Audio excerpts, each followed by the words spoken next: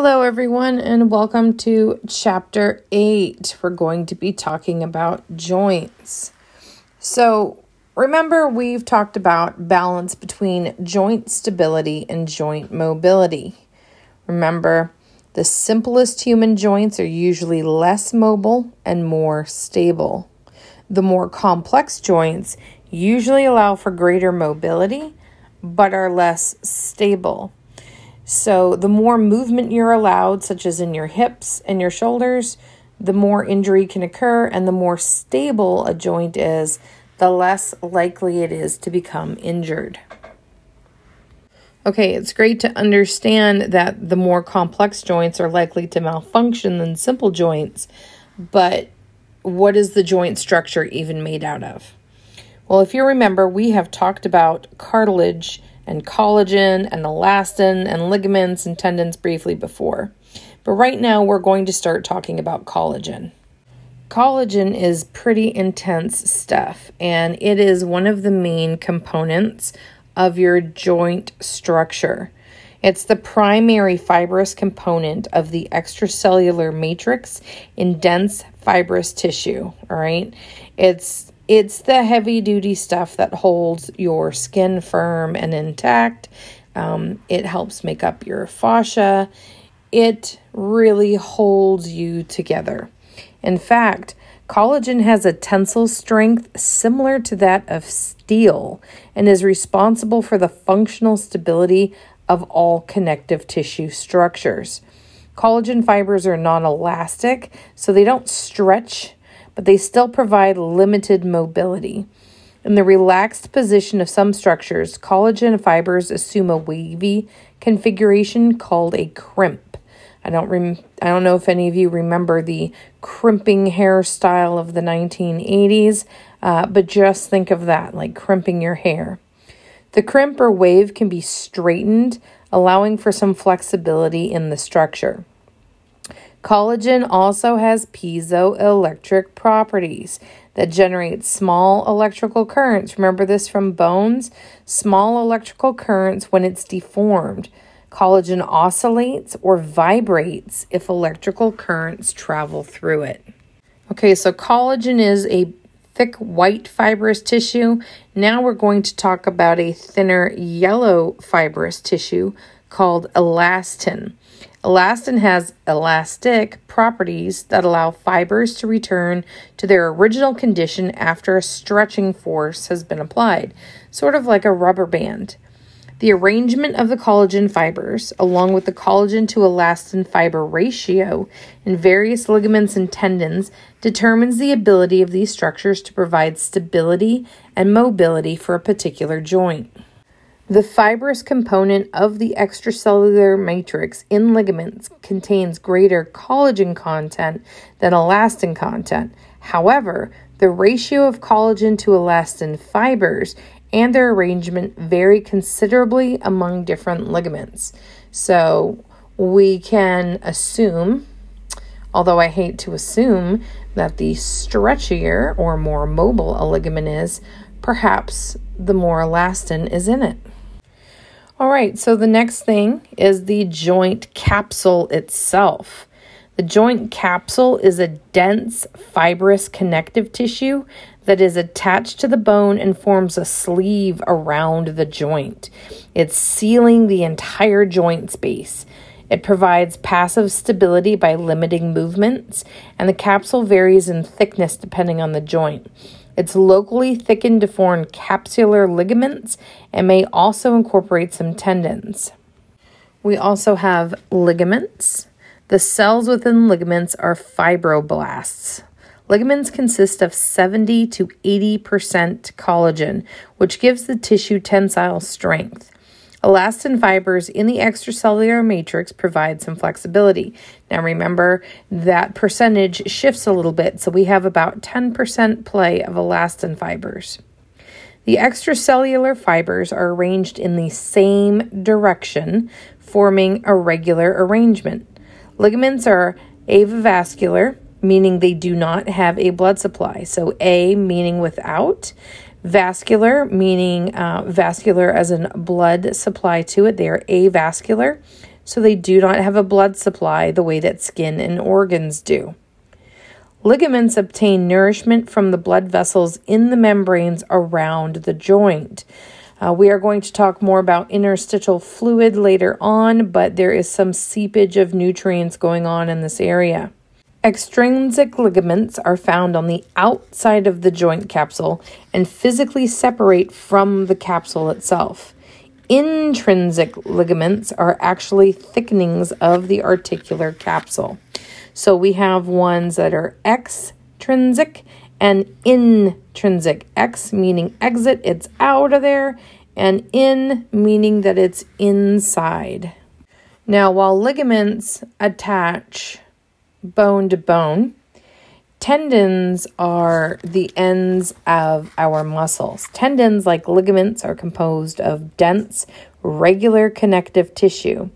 They connect bone to muscle, Remember, ligaments are bone to bone, tendons are bone to muscle. In addition to the usual connective tissue components associated with tendons, loose areolar connective tissue forms complete or partial sheaths around them. Double layers of connective tissue around the tendons at the wrist and hand form complete sheaths. These tendons sometimes are called sheathed tendons. The sheath protects the tendon and produces synovial fluid, which helps to reduce friction. It's kind of it's a very thick viscous fluid, like a very thick oil in your car. Tendons help stabilize joints in that they pass across or around a joint to provide mechanical support. However, they can limit the range of a movement in a joint. Imagine trying to bend your finger with five or six rubber bands wrapped around it. You can still do it, but your mobility is now limited. Next up, we have bursae. A singular bursae is a bursa. A bursa is a flat sac of synovial membrane in which the inner sides of the sac are separated by a fluid film. Bursae are located where moving structures are apt to rub against each other. Subcutaneous bursa are located between the skin and the bones.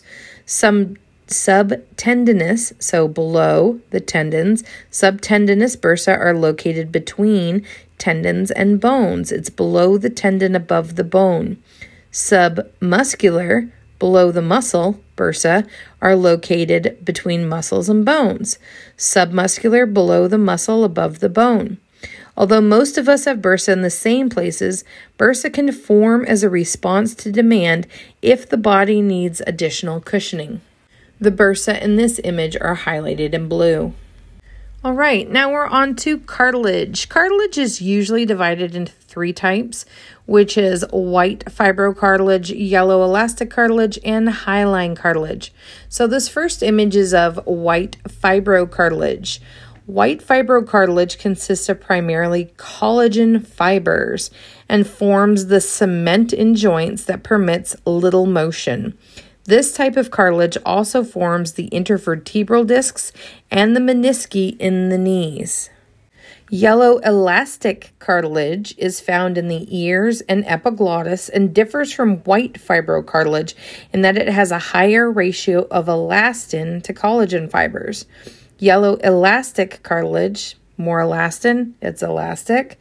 Yellow elastic cartilage is more opaque, meaning less see through, flexible, and elastic than hyaline cartilage, and is distinguished further by its yellow color.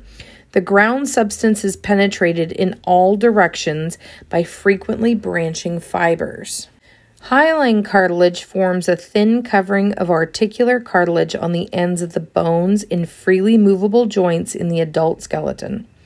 Hyaline cartilage forms a smooth, resilient, low friction surface for the articulation of one bone with another and disperses joint pressure over a wider area. Hyaline cartilage distributes any additional stresses applied to a joint and helps absorb some of the pressure imposed on the joint surfaces. These cartilaginous surfaces are capable of bearing and distributing weight over the lifetime of a person. I mean, my knees have taken one for the team. Assuming the individual has normal biomechanics, no, I feel attacked. No injury, attacked again, and no habits that wear down the cartilage. I these knees really have taken one for the team. Holy smokes. Water is the most abundant component of hyaline cartilage. All right? Water is important. Drink your water. Water is the most abundant component of hyaline cartilage. It needs that liquid to reduce the friction. And when combined with protein substances in the ground substance, it forms a stiff gel. How fortuitous. Our next image is that of a knee. It's a healthy knee joint, so it's not my knee. Uh, that's for sure. We're going to talk about synovial fluid. Synovial fluid is a thick, viscous, slippery fluid that contains hyaluronin, which is hyaluronic acid. It is a mucus like component of synovial fluid. Okay. Synovial fluid is secreted by fibroblast like cells in the synovial membrane and interstitial fluid filtered from the blood plasma. Synovial fluid is distributed during joint motion when the cartilage is compressed. So you move your knee, you flex it, your joint is compressed, or I should say the cartilage is compressed, and synovial fluid squirts out. The fluid flows back into the cartilage after the motion or compression stops. Because hyaline cartilage in the adult does not have blood vessels and nerves, its nourishment is derived from this back and forth flow of fluid. All right, we're going to learn again about the interstitial fluid later on in anatomy, um, in advanced anatomy, when we talk about the cardiovascular system and some other systems. So don't panic about that now. For right now, just think about that cartilage as being a sponge, and when you squeeze it, the synovial fluid drips out, and then when you release the sponge, it soaks it right back up. The free flow of fluid is essential for the survival of cartilage. The whole thing needs to stay damp. You don't want to be walking around on some dry sponges. All right. This synovial fluid is an aid to reducing friction. The effects of immobilization, in which compression of joint surfaces is absent or diminished, can cause hyaline cartilage to degenerate.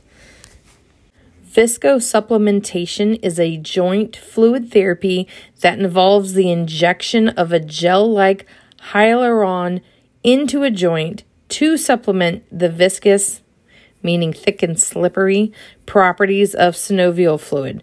This treatment is especially effective in the knee. Man, I feel so attacked about the knees. So they inject basically um, heavy duty oil into your knee instead of the regular uh, 30 weight or 20 weight we use in the winter to drive our car. You're getting that thick Lucas 50 weight in your old antique hot rod. Our last part of the joint structure is bone. It's almost like we just covered bone last week. Bone is the hardest of all the connective tissues found in the body. As with other forms of connective tissue, Bone consists of a cellular component, a ground substance, and a fibrous component. Next up, we're going to briefly cover mechanical forces acting on the body. Like external forces or forces that create loads on soft tissue by pushing or pulling on the body in a variety of ways. Internal forces are forces that create loads on soft tissue um, like misaligned joints or poor body mechanics, and that causes soft tissue to shorten, tighten, lengthen, and or weaken. All right, tissue load. This forces load soft tissues during massage application. Tissue load creates stress in the tissues, and tissues exposed to force are considered to be loaded. During massage application, applied force, if there's too much load, the tissue might fail and be injured. Too little load and tissues may not respond as desired. The change in the shape of the tissue, deformation, in response to the load is called the strain. Too much strain and tissues can be damaged. Not enough strain and the tissues may not respond and adapt. Okay, everyone. This is where your book gets serious in relation to you as a massage therapist, a future massage therapist.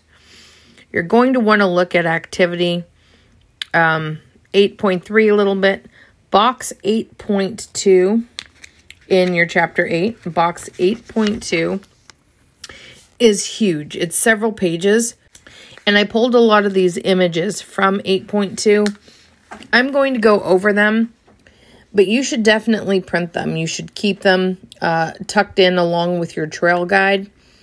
These are um, really good information about uh, mechanical forces, external forces placed by a massage therapist onto your client. Um, and I definitely want you to pay attention to them. All right. So, just to briefly go over, and I'm sorry you're staring at this boring image while I'm talking for a moment, but we have the anatomical tools of our palms, forearms, fingertips, knuckles, and so on used to apply force to soft tissue. All right, remember a force is something that causes the movement of the body to change or soft tissue structures to deform. So we're pushing on our clients, so we're deforming them. Friction is a force that acts in an opposite direction to movement. So, friction is a force that holds back the movement of a sliding object. Okay, now this first image that I have up here for you, um, the pink stuff is the soft tissue, the uh, hard tan stuff is the bone, and here we're looking at a compression force. This image is of compressive force. We are pushing down on this back. We are deforming the soft tissue underneath our palms and our fingers. This is compression. This next image is also downward compression. This is broad based contact. This is the entire forearm pressing down onto the leg. This is broad. The whole forearm is a broad surface area compressing a broad area. This is a narrow or small point of contact for compression. We are still pushing down into the tissue, we're jamming it into the bone, um, and we are pressing down with fingertips here. So it's a very narrow surface, and we are pushing downward. All right, now we're talking about tension stress or tensile stress. This occurs when two forces pull on an object in opposite directions to stretch it and make it longer and thinner and try to pull it apart. For example, you're pulling a rubber band, it puts it in tension or being subjected to a tensile load. The primary load that a muscle tissue experiences is a tension load. When the muscle structure contracts, it pulls on the tendons at both ends, which stretches a little. So the tendons are under tensile stress. The example in this photo, um, it's not as clear as I would like it. It looks like her one hand is superior to the popliteal space. It should be below it to be anchoring the top of those gastrocnemius muscles um, to pull it one direction, but she is pulling above the knee towards the head.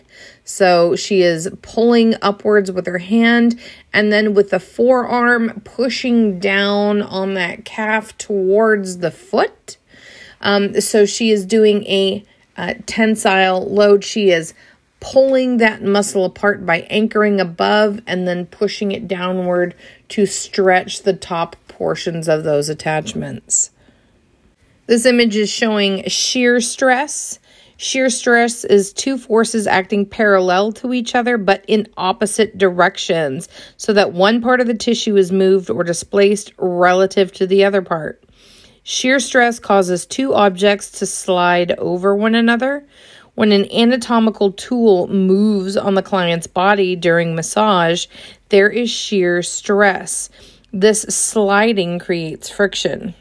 So this image shows the angles that you can come at the body to apply your force. And we need to talk about vector quantity here. Vector quantity is an important consideration with force. Um, it has three variables. It's the point of application, where are you putting your hand? It's the magnitude, how strong are you doing it, and the direction. Are you going straight down? Like the bottom portion of this image, are you going straight down towards the floor? Are you going along the muscle? Are you going up to the head or down to the feet? Or are you doing a nice 45 degree angle? Um, I like to do between 50 to 70 degrees usually when I'm doing myofascial myself. Um, if someone's a little bit too tight and we need more horizontal, maybe we'll do 75, 80 degrees. This is something that you definitely will play with. Uh, the more straight down you go, the more you're just compressing that soft tissue into the bone. And the more horizontal the, you go, the more you're sliding across the skin. All right, so in this image, we're looking at another compression method. We're pushing straight down, it's perpendicular. You see that the foot is the flat 180 degree and the compressive force is coming down from a 90 degree angle. So there's approximation, which is pushing ends of the tissue together if you're like pinching them, pushing tissue against another tissue. Um, so you're pressing your arm down on the soft tissue, which is pushing down into the hard tissue of the bone, applying pressure directly into the tissue. There's direct pressure techniques. Uh, this is often used interchangeably with static compression and ischemic compression. So we're not moving it, we're just pressing down into it. Here we have a gliding method. Um, so we can talk about stroking, Swedish massage, classic effleurage. It's a stroke applied in a smooth, continuous motion that does not lose contact with the client's skin. You can do this with the forearm, uh, which this person is doing up the leg. You can obviously do it with your hands as well. This is an elongation method. Um, crossed hands stretching, fascial spreading, the pin and stretch where you place your hand on one section and then you pull and stretch with the other, arm pulling, leg pulling, all different types of traction. These are all um, elongation methods. We're stretching out that tissue. This little bend here, I didn't really see much image uh, coverage in your book to talk about a bend. You could be, um, let's say your client is laying supine and their thigh is there available for you. And instead of gliding up the thigh, you're going to put your palms directly at the midline and then you are going to press down, glide towards the table on either side of the leg um, or the arm if you're working on the arm and the arm is coming up between your palms and your palms are going down to the table on either side. So you're just spreading that tissue down and wrapping it around on either side of the bone. Here we have torsion, twisting methods. We're going to knead, we're going to skin roll, we're going to pull, we're wringing it, we're twisting it back and forth, all this fascial torquing. Um, you can do a Swedish or classical petrissage with this as well, but we're just grabbing that meat and twisting it around the bone. Here we are pinching and we are lifting and spreading. You see how the little diagram shows the fingers spreading up into like a little crescent moon shape we are doing some petrissage and skin rolling, and we are also doing spreading in here. This is another form of torsion and twisting methods. This is kind of a pin and petrissage thing. It's it's kind of like skin rolling, but not really. He is pinning with fingers and then cupping that tissue around it. Um, this looks like older skin. I, I don't know the client, obviously. I'm just looking at a little image here. Um, you know, I would be careful doing something this aggressive with a geriatric client. They have fragile skin. I really hope they used a, a thick emollient, you know, something uh, like shea butter or something pretty oily that really soaked into the skin to make it supple here before they are doing some aggressive maneuvers on some ancient paper skin. All right, so this image is an oscillating method. All right, what's oscillation? You're making waves. Examples are vibration, rocking, jostling, or shaking.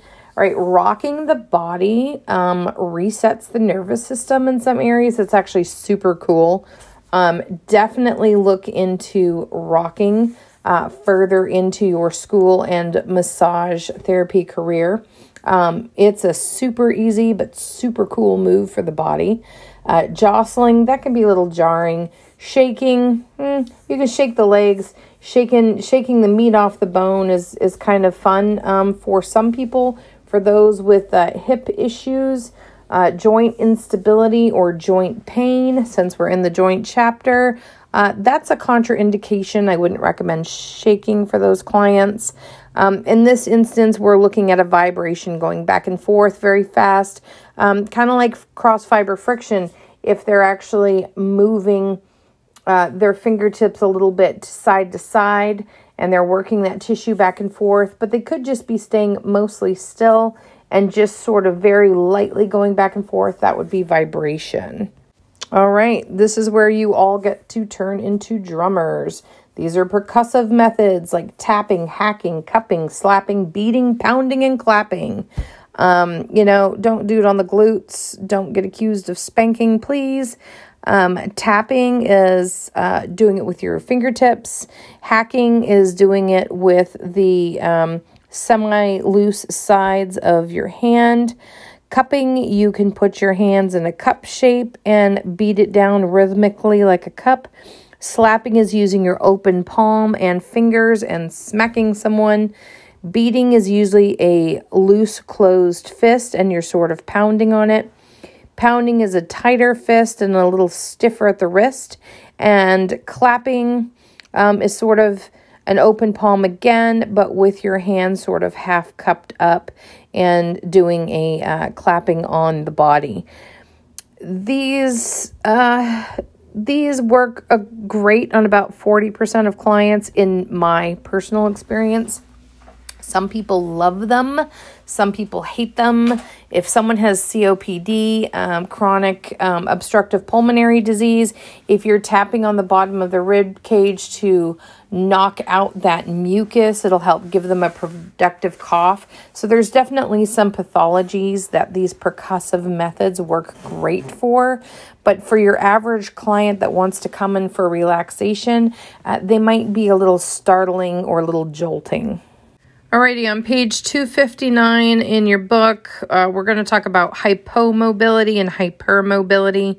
Hypomobility is when the range of motion is less than what normally would be permitted by the structure. The joint is hypomobile. Remember, anytime we talk about hypo in the body, we're talking about less than. Hyper is excessive or more than. So if you have hypomobility in a joint, you have less movement. Um, here we have some uh, fuzzy cartoon images of hypermobility. Um, that is caused by a failure of the joint to limit motion, right? The bony or the soft tissues don't restrict it enough, but this means that it makes it unstable. Remember, the less structure it has, the more unstable it is. I just keep referring to your book. This is the one chapter, well, three chapters, chapter seven, eight, and nine. You really want to look at your book, but um, for the joints, uh, especially here, chapter eight, I definitely want you to refer to your book several times. I have a couple of images of box 8.3 here. These are more terms describing joint movements. I suggest you copy them into a file and keep them. I'm going to put them in your resources section for you for the week. So you're going to see those joint movement term sheets in your um, extra resources. It won't be for a grade or anything, but definitely a fantastic thing for you to keep. I want you to hang on to that. Um, this will be wonderful for you later for kinesiology, sports massage, for your MBLEX, etc., etc., and for your massage therapy career. Again, this is box 8.3 in my hard copy version of the book. I'm not looking at the e version right now. It's on page 262. Um, they do line up quite well, though. Again, this is box 8.3.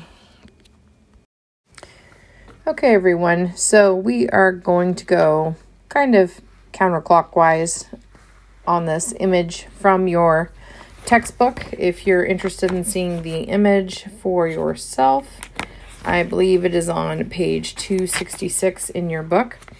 And we're going to use it to talk about the classification of synovial joints by their movements. So, the first type of joint we're going to talk about is a uniaxial joint. A uniaxial joint is constructed so that the motion of the bony components um, is allowed in only one of the planes around a single axis. Okay, so there's only one real type of movement allowed. There are two type of joints in this category, and they are hinge joints, which is at the bottom right of this image, and pivot joints directly above it. A hinge joint allows flexion and extension in one direction, changing the angle of the bones at the joint as in a door hinge. The examples are the elbow and the interphalangeal joint. So, in between your phalanges, in between your fingers, these are hinge joints. So, go ahead, just flex your fingers and then extend them. See how they only bend in one direction and then straighten again. A pivot joint allows rotation around the length of the bone. A pivot trochoid joint is a type of joint constructed so that one component is shaped like a ring and the other component is shaped so that it can rotate within the ring. Examples are the joint between the first and second cervical vertebrae, between your axis and your atlas, and at the joint at the proximal ends of the radius and the ulna. Okay, now we're going to jump weirdly um, across the top of this image here, and we're going to talk about biaxial joints. Biaxial joints allow movement in two planes around two axes. The two types of joints in this category are condyloid joints up in the upper left hand side of this image and saddle joints in the upper right hand side of this image. A condyloid or condylar joint is also called an ellipsoid joint. This allows for movements in two directions, but one motion dominates. The joint surfaces in the condyloid joint are shaped so that one bony surface is concave and the other one is convex. The movements allowed are flexion, extension, abduction, and adduction. So we're bending, we're straightening, we're taking away from the body, and we're adding to the body. Flexion, extension, abduction, adduction. Examples are the wrist joint, the metacarpal phalangeal, MCP joints. So at your metacarpals and your phalanges, so your big knuckles on your hands, the meta tarsal phalangeal MTP joint. So this is the tarsals and the phalangeal, or excuse me, the metatarsals and the phalangeal joints in your toes, the big knuckles of your toes, and the atlanto-occipital joint. All right, so where atlas meets your occipital bone, or C1 meets your occipital bone. In a saddle joint, each joint surface is convex in one plane and concave in the other, and these surfaces fit together similar to a rider on a saddle, just like you're riding a horse. Movements that are allowed are flexion, extension, abduction, adduction, and a small degree of axial rotation. So we're bending, we're extending, we're taking away from the body, we're adding to the body, and we're doing a little bit of rotation flexion, extension, abduction, adduction, and axial rotation. Examples are the joint between the wrist and the metacarpal bone of the thumb. This is your first carpo-metacarpal joint, and the sternoclavicular joint, all right, between your clavicles and your sternum. Still continuing to move counterclockwise, we're going to talk about triaxial joints.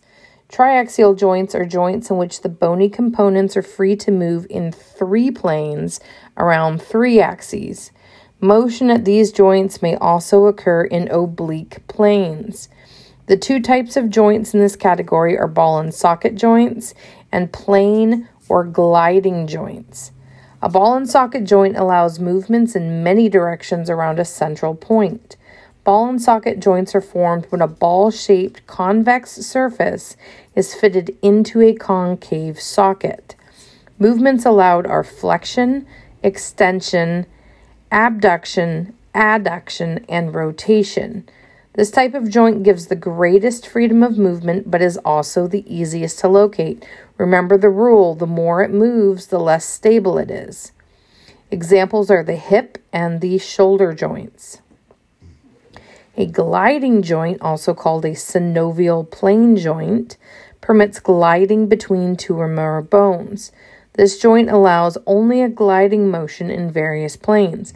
Examples are the superior tibiofibular joint, acromioclavicular joint, the costovertebral joints, and the zygapophyseal joints between the vertebral arches. All right, now we're going to do a throwback to chapter 7 for a moment and talk about cranial sutures because these are technically the joints of the skull. All right, remember that the coronal suture is between the frontal and parietal bones. The sagittal suture is between the two parietal bones. The squamous suture is between the parietal and temporal bones, and the lambdoidal is between the occipital and parietal bones. Your book contains some palpation hints on page 267. I highly recommend looking at the trail guide um, to the body for a lot of palpation tips. It does not fall in line with the way that um, our Essential Sciences textbook flows. Uh, however, it does have phenomenal um, chapter by chapter going by body area palpation techniques, bony landmarks, and it does indeed talk about the joint structure as well as the musculature. So, if you want to look inside each one of those chapters for what you are looking for, either bony landmarks or joint information or the musculature, it is a great uh, supplemental guide to what we're doing now. All right. The temporomandibular joint. This is a moneymaker. The TMJ consists of um, a couple of different structures. The joint type is a synovial modified hinge joint. The articulating bones are the temporal bone of the skull and the mandible. All right, your lower jaw bone there, that's your mandible. And you have several ligaments in there. All right, the TMJ is one of the strongest joints in the body and has only one biarticular joint, bi meaning two, so it articulates in two places, biarticular joint. This means that the joint has two separate cavities.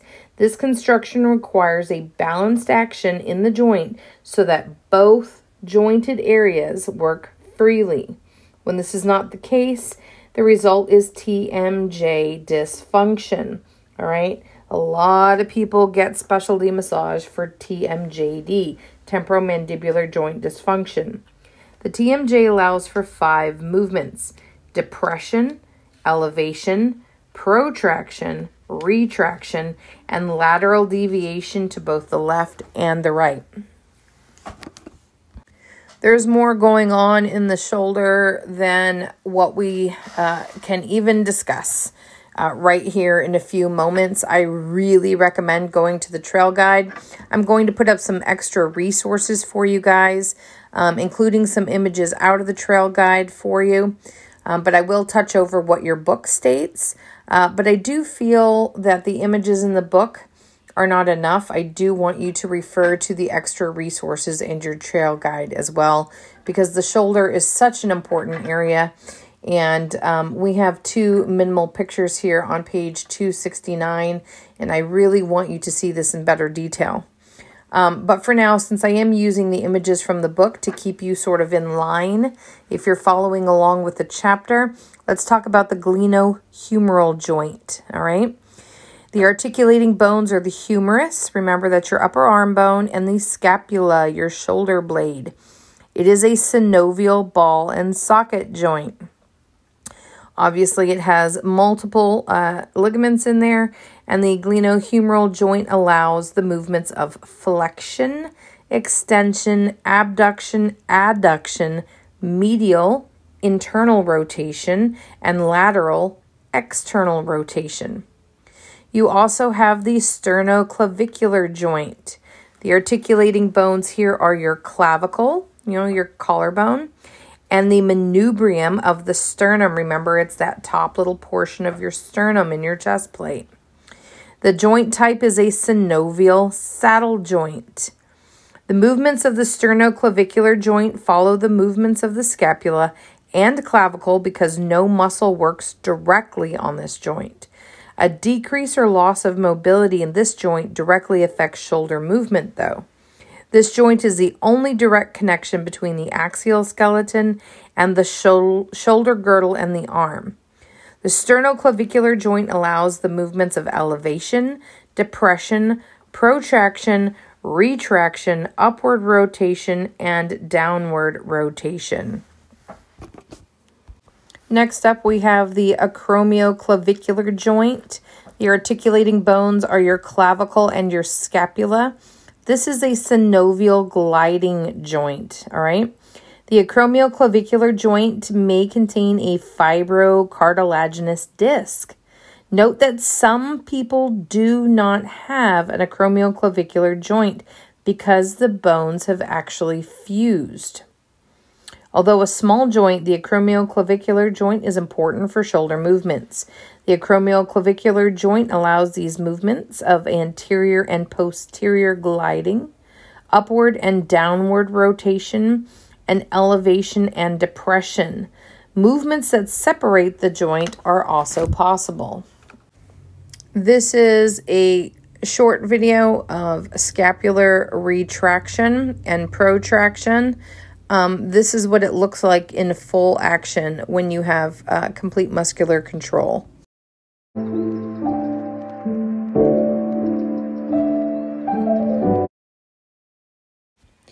Next up, we have the joints of the elbow.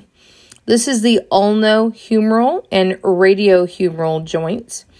The articulating bones are the humerus with the ulna and the humerus with the radius. This is a synovial joint on the ulno, ulnohumeral aspect, okay? Because of its bony structure and the support of the muscles and ligaments, the elbow is a stable joint. Less uh, different types of movement means more stable. Most elbow action involves the ulnohumeral joint, even though the radius also interacts with the humerus. During flexion, the trochlear notch of the ulna slides on the humeral trochlea, whereas the head of the radius slides on the capitulum. In extension, the movements are reversed and stop when the olecranon process reaches its anatomical barrier at the olecranon fossa. The elbow is one of the few areas in the body where a hard end feel and anatomical barrier occur. Hyperextension is possible in individuals who have a small olecranon process or a large olecranon fossa. So they don't have that bony structure there in place to help stop that movement and hypermobility can occur. The ulnohumeral and radiohumeral joints allow the movements of flexion and extension. The radioulnar joint um, is the radius and the ulna. These are articulating bones. The three radioulnar joints are the proximal, middle, and distal radioulnar joints. It is a synovial pivot a proximal radioulnar joint. The interosseous membrane, now remember from chapter 7, that's that membrane between the ulna and the radius, all right? That forms the middle radioulnar joint and connects the shafts of the ulna and radius. Its fibers run in a diagonal pattern perpendicular to one another. This membrane is taut, it's very tight during supination and relaxed in pronation. The distal radial ulnar joint is located between the distal ends of the radius and the ulna. The proximal radial ulnar joint allows the movements of pronation and supination. Here in figure A, you see supination, and in figure B, pronation, and you can see the bones crossing each other. You can see how in figure A, the interosseous membrane would be tight and stretched between them as the bones are separated and far away from each other. And then as they cross in pronation, how that interosseous membrane would then relax and become sort of bunched up and not so tight in between them. Next up, we have the radiocarpal or wrist joint. The articulating bones are the radius, the scaphoid, and lunate, with some triquetral bone involvement. This is a synovial condyloid joint. The wrist is called the radiocarpal joint because the radius alone articulates with the carpal bones. The ulna joins the wrist indirectly by a disc that articulates with the carpal bones. This allows forearm pronation and supination to take place without affecting any wrist movements. The joint capsule of the wrist is loose in the anterior and posterior directions, allowing easy flexion and extension, but it's tight laterally and medially, allowing for minimal ulnar deviation and radial deviation. The radiocarpal joint allows for the movements of flexion, extension, and radial and ulnar deviation. Hand joints. The intricate pattern of hand joints is where all of the movements involving the fingers take place. The hand is capable of a variety of functions that vary from the precise handling of objects and to acts of great strength. So you can do fine motor skills, gross motor skills. The opposable thumb allows us to grasp and manipulate objects. Because the thumb in the resting position is rotated relative to the rest of the fingers, the thumb faces the other fingers. The first carpo-metacarpal joint of the thumb consists of the structures of the first metacarpal with the trapezium. It's a synovial saddle joint. The first carpo-metacarpal joint allows the movements of opposition, abduction, flexion, and medial rotation, and reposition is adduction, extension, and lateral rotation. All right, next up is the pelvis. All right, the pelvis comprises three bones arranged in a ring. It has three important functions. It transmits weight from the axial skeleton to the lower limbs of the appendicular skeleton in the standing position, or to the ischial tuberosities when sitting. It provides proximal attachments for muscles that insert onto and move the legs and it protects the lower structures of the digestive and urinary tracts, as well as the reproductive systems. The joints of the pelvis are capable of tiny movement. Much of this movement occurs at the sacroiliac joint. Nutation and counternutation describes sacral movement in relationship to the movement of the ilium. Nutation is the forward motion of the base of the sacrum into the pelvis called tucking your tail, or the backward rotation of the ilium on the sacrum. Counternutation is the opposite movement of nutation. A lordotic position or anterior pelvic tilt is created by the rotation of the ilium on the sacrum or backward motion of the base of the sacrum out of the out of the pelvis. So basically wagging your tail. So in picture A we're looking at the anterior tilt of the pelvis. All right, that little tail that you see off to the left there, that is your sacrum and your coccyx, and you see that it sticks out when your hips lean forward. In picture B, there, it's the posterior tilt of the pelvis. This is nutation, and the tail is tucked in in this image. All right, so we have the sacroiliac joint the articulating bones are the sacrum and the two ilia. It's part synovial in the anterior half and part fibrous. The movement allowed is very small but important anterior, posterior, lateral, lateral, and medial rotation in a side lying figure eight pattern. This rotary movement of the pelvis, pelvis allows the vertebral column to remain relatively still as we walk. When the sacroiliac joint does not move, the sacrolumbar junction compensates for the lack of rotation, putting strain on the spine, very often causing low back pain. No direct muscle action occurs at the sacroiliac joint. Instead, the sacroiliac or SI joint moves as a result of other joint movements in the area. You also have the symphysis pubis. The articulating bones are the two pubic bones. It is a cartilaginous joint. It is a cartilage plug in the center there. All right, stability of this joint is super important. The joint connects the left and right coxal or hip bones anteriorly.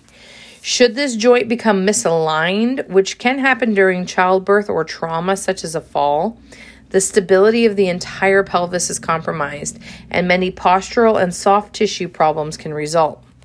The symphysis pubis allows for independent motion of each side of the pelvis, which is important when walking. It allows for that little bit of rotation as you take each step. Symphysis pubis motion is especially important during pregnancy and delivery. Um, fun fact uh, when you are getting at the end of your third trimester, you actually get a hormone that will help soften all of the cartilage in that area to help that um, symphysis pubis actually spread apart a little bit. All right, you actually have the hip joint itself. The articulating bones are the acetabulum of the pelvic bone, which is formed by the ilium, the pubis, and the ischium, and the femur, your leg bone. It is a synovial ball and socket joint. All right. It allows for a ton of movement, which means it's not that stable. There is a fibrocartilaginous ring called the labrum, which attaches around the edge of the acetabulum and is reinforced by the transverse acetabular ligament. This ring helps hold the femoral head. Remember, that's the head of your femur, that top round ball of the femur, in place by increasing the depth of the acetabulum. The hip joint is a massive joint. Although it is a mobile ball and socket joint, the hip joint is less mobile than the shoulder joint because of the round head of the femur fitting into the deeper socket in the pelvis. This structure provides a little more stability than what the shoulder does. Therefore, the hip joint is less susceptible to injury than the shoulder joint. In anatomical position, the, fe- the femoral head is not fully in the hip socket. A better fit is when the femur is flexed to 90 degrees as when sitting, slightly abducted, and laterally rotated. The most relaxed position is flexion, abduction, and lateral rotation. This is like when we're sitting in a relaxed position with our legs falling out to the side. If you sit like that continuously, though, you will get tightened piriformis and deep six lateral rotator muscles, but that is a conversation for another chapter. The hip joint allows the following movements flexion, extension, abduction, adduction, medial rotation, and lateral rotation. All right, joints of the knee. So, the articulating bones of the knee joint are the femur, the tibia, and the patella. Although the patella slides around it as a sesamoid bone, remember, that's not actually attached. It's a synovial modified hinge joint. All right. So the knee allows for flexion, extension, a little bit of medial rotation, and lateral rotation. This image is of the knee joint sort of opened up. There is an anterior, posterior, and proximal view. Figure A is the anterior view of the knee joint. B is the posterior view of the opened knee joint with a more complete view of the um, posterior cruciate ligament. And figure C is where the femur is completely removed and it's showing the proximal articular end of the right tibia. All right, so when we talk about your ankle, the talocrural joint, all right, the ankle joint consists of the tibia, the fibula, and the talus. It is a synovial hinge joint. Motions of the ankle itself are limited to dorsiflexion and plantar flexion. Inversion and eversion of the foot are functions of the subtalar and transverse tarsal joints. It's not actually part of your ankle joint. So here with this image, um, let's go ahead and talk about the foot joints first. The joints of the foot are the intertarsals, the tarsometatarsal, the MTP, and the interphalangeal joints. So the intertarsal is between the tarsal bones. The tarsometatarsal is between the tarsals and the metatarsals. The MTP between the metatarsals and the phalanges. The interphalangeal are between the proximal, middle, and distal phalanges. All right, remember the feet mirror the hands. We also have our joints of the spine and the thorax. So, joints of the spine, we've already talked about the atlanto-occipital joint. The articulating bones is the atlas. Remember, atlas is C1, and the occipital bone at the occipital condyles at the base of the skull. This is a synovial condyloid or ellipsoid joint. The atlanto-occipital joint allows for flexion extension, right lateral flexion, and left lateral flexion. We also have the atlantoaxial joint. The articulating bones are the atlas and the axis, which are C1 and C2. This is the synovial joint, which allows right and left rotation. We also have intervertebral disc joints. All of the adjacent vertebrae articulate with each other and they have a cartilaginous symphysis. This is this disc that is in between the vertebrae. Individual intervertebral disc joints allow minimal movement. Movement of the spine as a unit is much greater. This image shows some motion between adjacent vertebrae. A to C, these figures here show vertebrae in their neutral positions. All right, there's vertebrae in extension. Figure B is vertebrae in flexion, and notice that the interspinous and supraspinous ligaments are being stretched. And in figure C, the vertebrae is in right lateral flexion. Again, everything on the left is in neutral, and then when we do flexion, extension, or uh, lateral flexion, this is what it looks like with the ligaments pulling on adjacent vertebrae. All right, this last image is of costospinal joints between the ribs and the spine. All right, the costospinal joints of the thorax consist of the costovertebral and costotransverse joints. The articulating bones are the ribs with facets and hemifacets on the adjoining vertebrae. These are synovial plane joints. The costospinal joints allow gliding. The sternocostal joints have the costochondral joints. The first through the seventh ribs articulate with a costal cartilage. The chondrosternal joints, the cartilage articulates with the sternum itself. These are cartilaginous and synovial joints. The sternocostal and costal spinal joints allow the movements. Similar to the movement of a handle on a bucket, like the movement of the thoracic cage occurs during respiration. So your ribs are going up, sort of like you're tugging up the handle of that bucket. And then as your exhale goes out and your rib cage depresses, all of your ribs go back down like the handle of the bucket.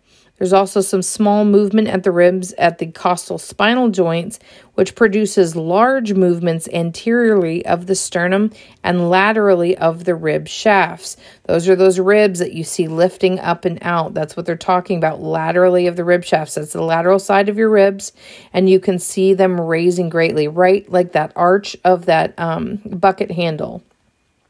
The result is a change in diameter of the thoracic cage that shifts intrathoracic pressure and enables inspiration to occur.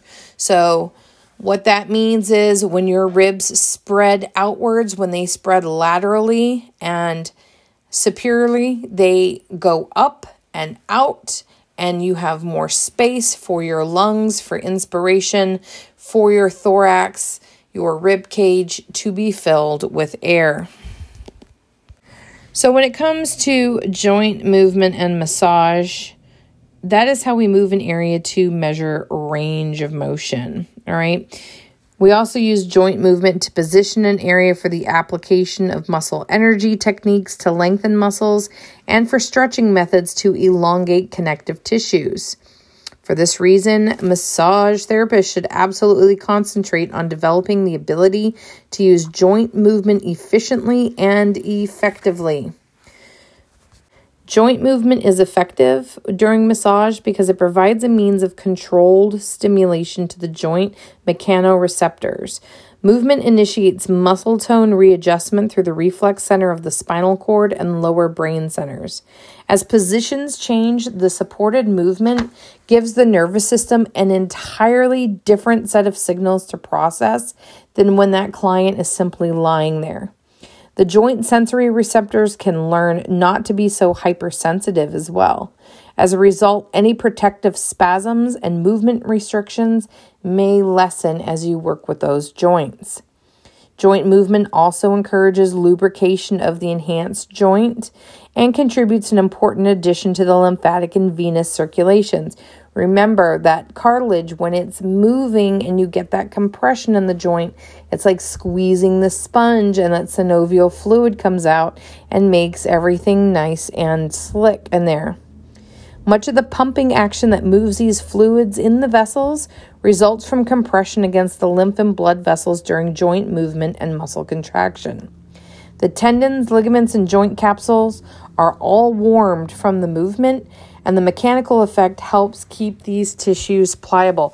This is especially important for your bedridden clients or um, those who are disabled or partially immobile. Passively moving their joints for them is in an incredible help. Your book continues with some normal range of motion measurements for each joint. It's definitely worth um, keeping for future reference for kinesiology and for reference for right now. Um, as you practice in clinic, you'll definitely be working with range of motion and working on client joints. Please refer to your textbook starting on page 289 to go over some of the injuries that can occur to joints. Again, we're going to cover those in depth when you get into pathology.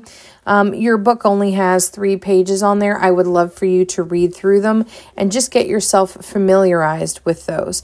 They are also in your assignment for the week. And I will catch you guys for the next chapter. Have a great weekend.